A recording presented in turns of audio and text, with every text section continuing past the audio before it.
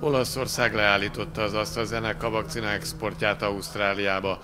250 ezer adag koronavírus elleni oltóanyagot tartottak vissza az Európai Unió egy hónapja bevezetett export ellenőrzési rendszere értelmében.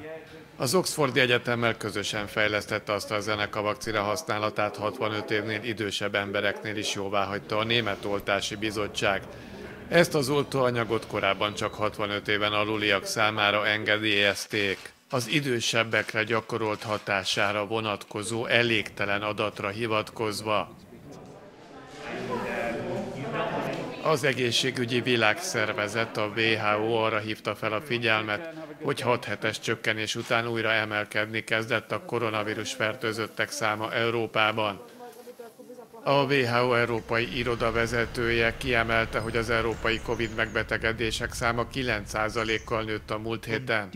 Az európai kórházak és egészségügyi dolgozók terhelése folyamatos, amelyet valamelyest enyhít a szomszédos országok szolidaritása. Mindazonáltal egy évvel a járvány kitörése után nem lenne szabad az egészségügyi rendszernek ilyen helyzetben lennie. Vissza kell térnünk az alapokhoz, mondta Hans Kluge.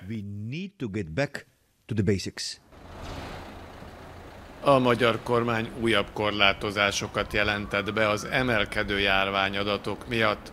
Aténban pedig tüntettek a görög taxisok pénzügyi segítséget és adócsökkentést követelve, miután a görög kormány csütörtökön újabb járványügyi megszorításokat vezetett be.